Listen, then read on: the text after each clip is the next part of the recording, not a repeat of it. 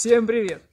Сегодняшнее видео будет посвящено очень серьезной теме канареек, такая как кормление травой, зеленью, что можно давать, какую траву можно давать, какие ветки можно давать. На сегодняшний день ассортимент не такой уж большой, но уже в принципе не маленький. Поговорим об этом подробнее, покажу наглядно.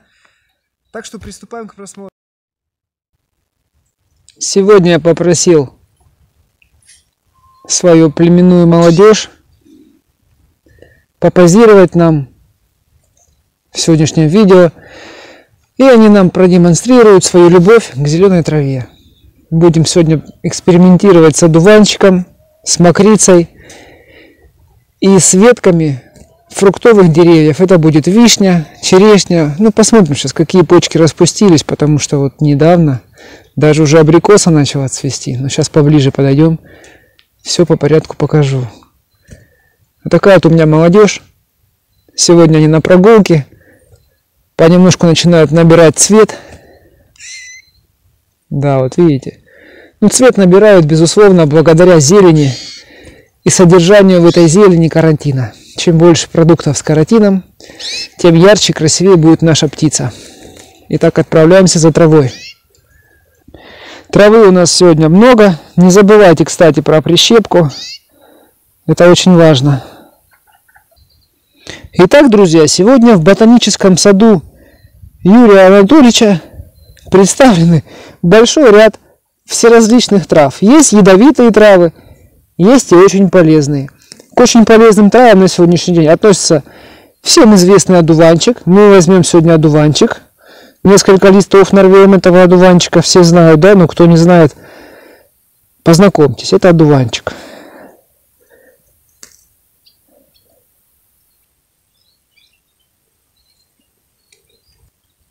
Также еще, друзья, будьте очень внимательны, когда будете давать травы мокрица. Есть очень прекрасная трава, называется мокрица, мокрец. Кто как произносит, это уже дело ваше. Вот она, эта мокрица, цветет вот такими белыми цветочками. Видите, какие цветочки белые.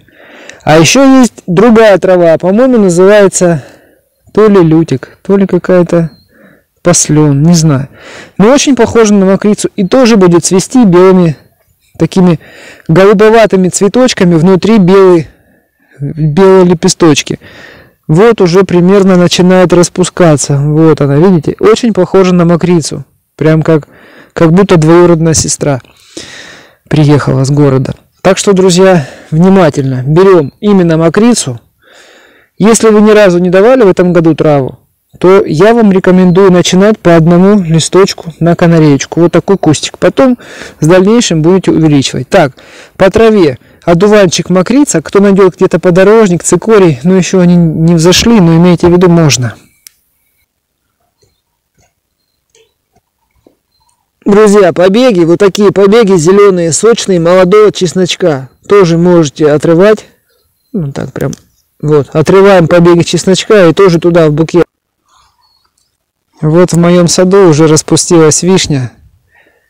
Мы можем отломать небольшие веточки этой вишни, черешни, яблони. Вот еще, видите, как хорошо распустилась вишня. Она скоро начнет цвести белыми цветами. Это все можно отламывать маленькими, ну, такими ветками.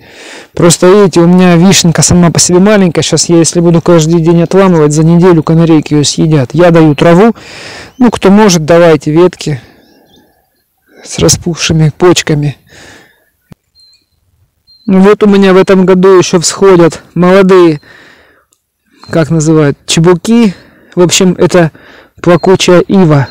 Или просто ива, которую мы даем неразлучникам, попугаям. Я решил немножко рассадить, чтобы была своя ива на питание канарейкам, попугаям. Все могут это кушать. Это очень будут полезные почки у молодых. Ну вот, принялись, у меня почти все принялись. Ивушку записали тоже можно. Идем дальше.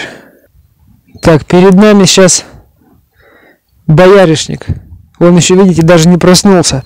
Боярышник просыпается поздно.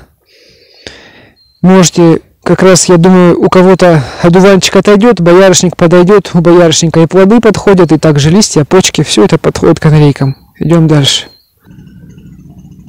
Вот перед нами молодые саженцы березы. Видите, тоже береза распускается. Канарейки тоже любят березовые почки, березовые молодые листики. Но пока я березу не трогаю, потому что очень маленькие, молодые, пускай раз, разрастаются. Запишите, березу тоже можно. Вот прям вот эти зеленые почки. Здесь также в саду представлены, это у нас липа. Липу тоже можно. Прям вот отламываете ветки, молодые листики, даже начнут они взрослеть, ну, примерно до размера спичного коробка. Они еще будут нежные, канарейка будет употреблять с удовольствием. Ближе в лето они будут грубее, канарейка уже не так будет это кушать. Все, липу тоже запишите. Друзья, вот красавица невеста лыча. Вот это лыча, а по соседству алыча. Это желтая и красная. Запишите тоже. Канарейки любят. Давайте отломаем веточку. Просто чтобы вы посмотрели, как это все будет происходить. Да, две веточки отломаем. Все, идем теперь все это дело моем хорошенько под проточной водой и будем угощать наших канареек. Друзья, чуть не забыл, вот такая травка называется пастушья сумка.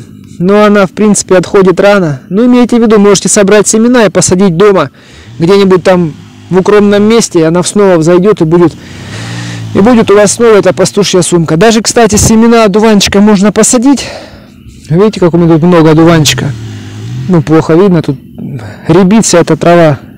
Вот одуванчик, давайте пастушью сумку сейчас возьмем. В общем, у себя дома можете посадить семена одуванчика и выращивать в парнике, в теплице, на подоконнике, где-то вам удобно, и у вас будет круглый год, в принципе, одуванчик.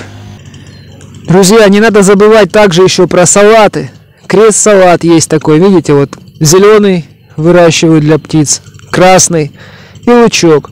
Буквально одно перышко, там два перышка отрывайте и в этот пучочек будет канарейки довольные будут Вот курочки, видите? Они тоже любят очень сильно одуванчики.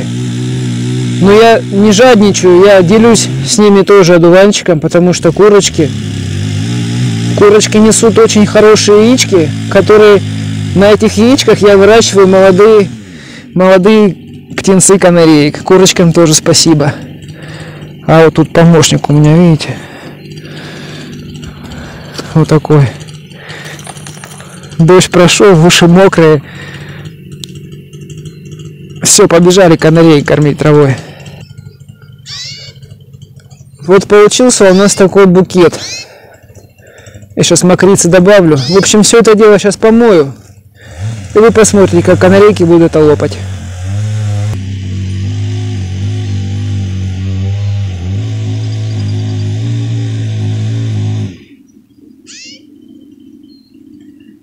Видим с вами, самые смелые идут.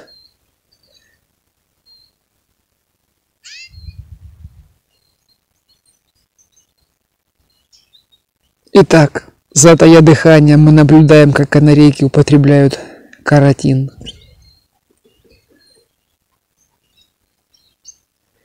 И сейчас у зрителей, у многих может возникнуть вопрос, а как же переедание, а как же понос? Понос может произойти, если канарейка съест не свежее зерно, или если канарейка сразу одним махом наестся много зелени, а пищеварение будет не готово. Поэтому надо правильно подготавливать и правильно переводить птицу на зеленую траву. И тогда будет не страшны вот такие вот букеты. А напротив, такие букеты будут приносить только пользу, здоровье и красоту вашим канарейкам. Видите, как канарейки, в принципе, ну, не сказать, чтобы там активно быстро кинулись, все едят, потому что птица, она получает эту травку каждый день. Сейчас они тут на новом месте, немножко смущаются. Ну, тем не менее, мы видим, как птица потихонечку кушает. Это вот мои первенцы 21 года.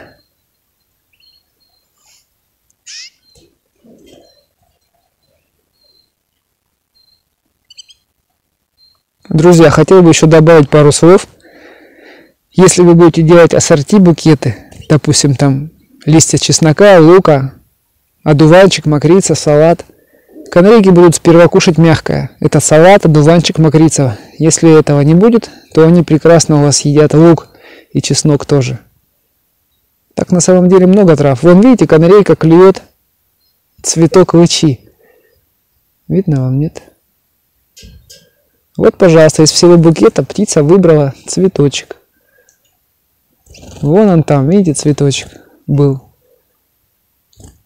То есть все это, пожалуйста, не запрещено. Кто боится клеща, друзья, ну давайте вместе бояться, давайте не будем давать. Давайте будем давать только зерно и все. И потом, что из этого выйдет, я не знаю. Лучше не бояться.